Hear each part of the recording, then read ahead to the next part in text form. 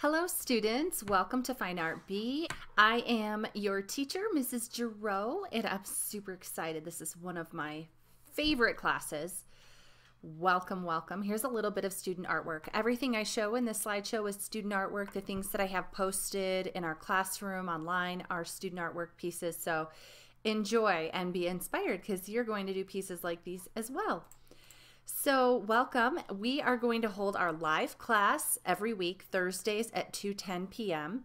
It's a 45-minute class, and then we will have study hall every Friday at 2 p.m.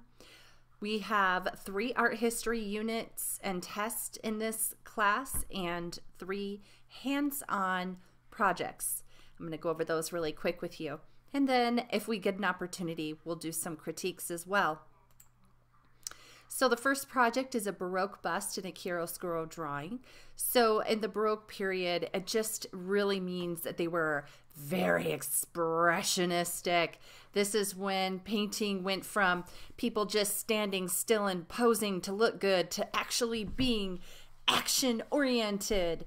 So um, this is like, you know, action movies, that genre of action. And uh, the chiaroscuro is the contrast of dark against light, those pure blacks against pure white highlights. And you can tell the students set this up to show that off and then sketched it. And so that's assignment number one. Another bust. This student really went to town on that and uh, did the drawing. It looks fabulous. Okay, project two, here we go. This is a realism and impressionism painting series. You're going to do two paintings. One of them is going to be in the tradition of realism using natural tones, and then the other will be in the tradition of impressionism. Think of pointillism and Monet and Van Gogh. Here's another example. And remember, this is student work. It looks really good. And then project three will be a modern painting and an abstract mixed media. I don't think that this is an abstract mixed media piece over here. These are paintings. Let me show you some mixed media when we get to it. Here's some more paintings. Ah, there we go. Here's some mixed media using some music paper to create a bird in flight. Gorgeous. Uh, this was, um, what are those, pipe cleaners? And the student created a nice rack there. This looks like clay and maybe some sticks, creating a nice, interesting abstract object. So that's kind of what you have to look forward to, and I just wanted to give you a little taste of that.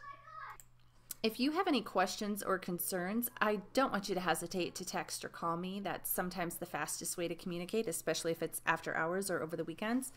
I don't uh, check my email after hours and on weekends, so um, I know a lot of you already have my phone number on speed dial, and um, I love to hear from you. So if you're having any struggles for any reasons or questions or issues with being motivated, contact me and let me help you.